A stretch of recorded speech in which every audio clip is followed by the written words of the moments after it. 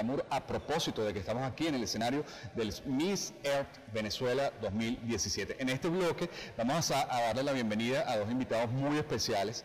Ellos son Franklin Salomón y Giovanni Laguna, estilista y maquillador de la grandísima Maite Delgado. Bienvenidos. Gracias, muchas gracias por la invitación. Feliz de estar aquí en sábado en la noche, en este estado de glamour, cosa que me encanta. Eso vine dillo como Melissa, porque no, ella no me iba a buscar a mí, por favor. No, tengo que decir que me encanta tu selección a la me hora de encanta tu traje, está divino. Gracias, gracias Hugo Mi Espino. amor, no faltaba más. Franklin, eh, me llamó mucho la atención eh, uno de tus, mm, una de tus declaraciones para un medio impreso en el que decía se mostró muy feliz y sorprendido por la nueva manera de evaluar la belleza venezolana eh, justamente con este concurso, con Miss Earth 2017. ¿Qué crees que diferencia esta manera de evaluarla del resto o de lo que anteriormente se había hecho?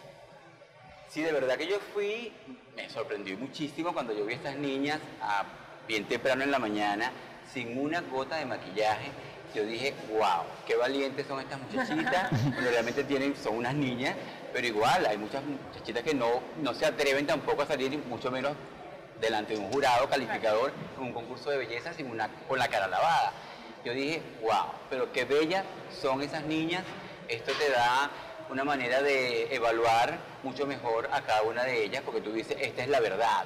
Porque para nadie es un secreto que un buen maquillaje y un buen pelo, mi amor, mete la coba a cualquiera, mi amor, eso hace magia.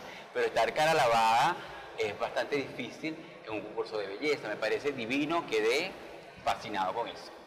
Yo, yo quería que pasáramos al tema de Maite. Evidentemente hay una relación con, con Maite desde hace muchísimos años, son amigos personales y yo me imagino que no nos vas a dar muchos luces acerca de lo que va a, a colocarse mañana nuestra gran animadora. Pero sí cuéntanos, eh, has estado con ella, la has acompañado, cuéntanos, o por lo menos danos una colita de, de- de lo que va a ponerse, el color, qué sé yo. Te puedes adelantar. Yo te voy a decir, una, si yo te doy una colita, me quedo sin cola yo. Porque ella me va a quitar la cabeza.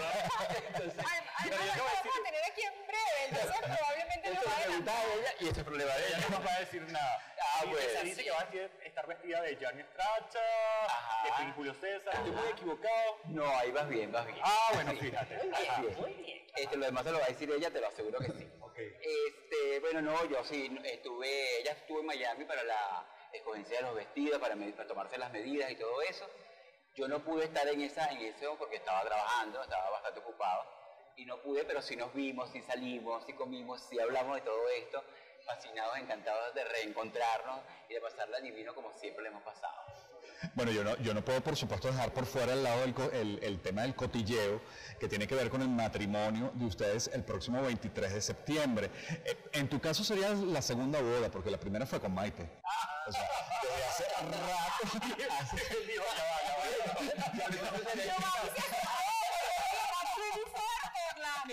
porque me la señora. Por eso, por eso. Pero efectivamente están en esos preparativos, los va a vest- a vestir Julio Espina. Hugo. eh, Hugo, perdón, Hugo Bueno, Espina. vestir, porque nosotros estamos anunciando bodas desde hace aproximadamente dos años, Sí. pero por una y otra cosa no pudimos hacerlo y llegó el momento de decir, mira, vamos a ponerle fecha a esto porque si no, terminamos. Entonces no, le pusimos fecha y Hugo siempre nos iba a vestir y lo volvimos a llamar, mira, la fecha es tal y bueno, después viene y, y Maite se anuncia como la gran madrina de nuestra boda y bueno, imagínate, orgullosísimos. A, a mí me encanta como Giovanni en- enfrenta las malas lenguas de frente, ¿no? Y a través de sus redes sociales justamente, él colocó, no me caso por papeles ni por dinero. Eh, ¿quién, ¿Quién había de alguna manera eh, argumentado eso? ¿Por dónde te llegaron esos rumores?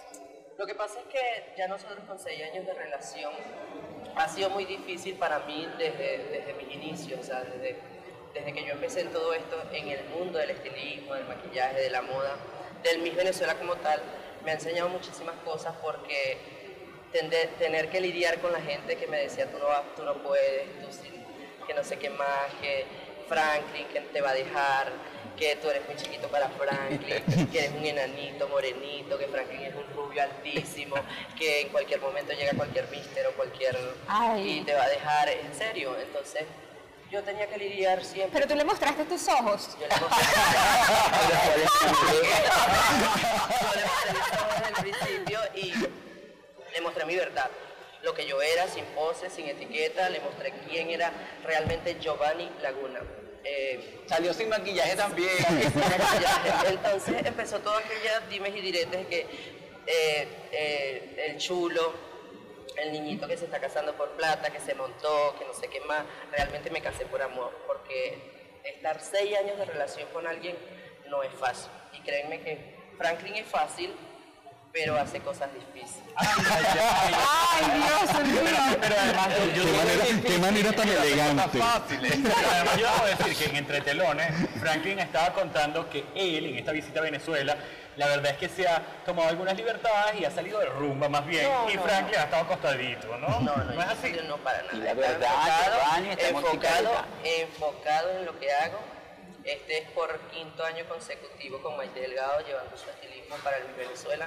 Empecé en el 2013 que en el Miss Venezuela de Miquelis Castellanos, donde empecé todo este, este, este mundo y donde realmente me di cuenta que era lo que me gustaba. Hoy por hoy digo que me encanta el, el mundo del estilismo. Claro, qué bueno. No, y además tienen una historia muy bonita eh, sobre cómo se conocieron, sobre cómo fue ese primer contacto, porque además eh, Giovanni me lo estaba eh, contando ayer, entre, entre anécdotas de amigos, por eso no quiero adelantar nada, sino que seas tú mismo quien, quien nos eche la historia. Eh, actualmente, bueno, ya hace, eso hace seis años, donde la plataforma de las redes sociales era muy importante. Y para mí, Bueno, todavía. yo, yo venía de un barrio, yo venía de un barrio que se llama Pavia, en Barquisimeto. Bueno, se llama Pavia en Barquisimeto. Y no había mucho internet, no había internet, había poquito. Entonces, creé una página llamada Facebook, Giovanni Laguna, y empecé a seguir un viaje de famoso. Y entre eso me sale como sugerencias un catire. y yo empecé a seguirlo, a escribirle hola, hola, hola, tipo fastidioso. Hola, hola, hola, hola, ¿No te hola. respondía Y nunca me respondía, nunca, nunca hasta que un día Hasta que Eh, San Antonio lo tocó. hasta que un día este, yo le dije una grosería en Facebook y él me escribió, me respondió a la grosería. Me dijo, ¿por qué la grosería? Esa fue mi técnica para entrar. Eh, luego compagina- eh, llegamos como tal a, a concretar, a concretar cuando me dio su pin. En ese tiempo se usaba BlackBerry. Y eh, ahí empezó toda la historia. Nos conocimos, empezamos a hablar por pin, por pin.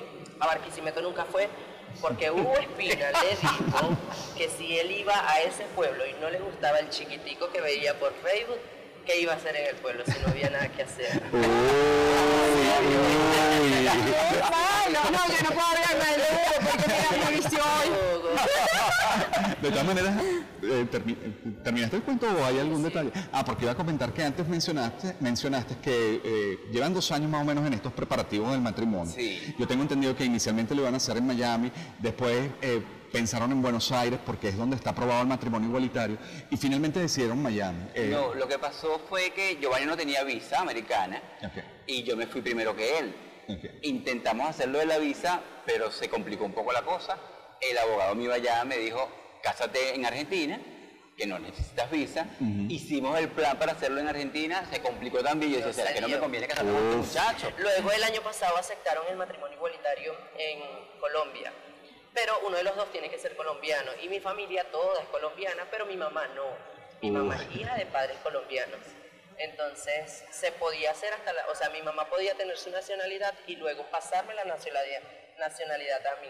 Pero duraba más tiempo, más proceso, hasta que le dije, Franklin, tranquilo, usted me manda para cualquier país, no sé cuándo me va a mandar, pero yo no me voy a quedar aquí todavía solo. Lo cierto es que se casan, lo cierto es que se Sí. casan. El próximo 23 de y que ha septiembre. superado todas las adversidades. Sí. De verdad, yo tuve, año, y yo tuve año y medio en Miami solo y bueno, nada, yo dije, si esto lo superamos, superamos cualquier cosa. Claro, claro. Así. Eso es el amor, Así Franklin. es. Muchísimas gracias, Giovanni, Franklin, por haber compartido este ratito con nosotros. Tenemos que despedir, pero por favor les voy a hacer una pregunta final La que me la van vale. Por eso, que me la van a contestar brevemente. Tu favorito y tu favorito. Ay, mi favorita son las 26 candidatas. Ah, no, no, no, no, política. no, no, no, no, yo te diga, siendo jurado calificador, me encanta esta. Me, yo me iba a. Maite. Es que no, es que ayer, de verdad, ayer me dijeron, me decidí que todas son bellísimas.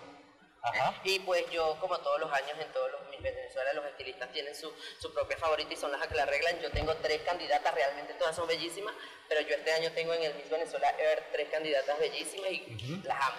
Bueno, y nuestros Y favoritos son estos comerciales que vienen a continuación. No se los pierdan porque ya regresamos con más de sábado en la noche. Chao.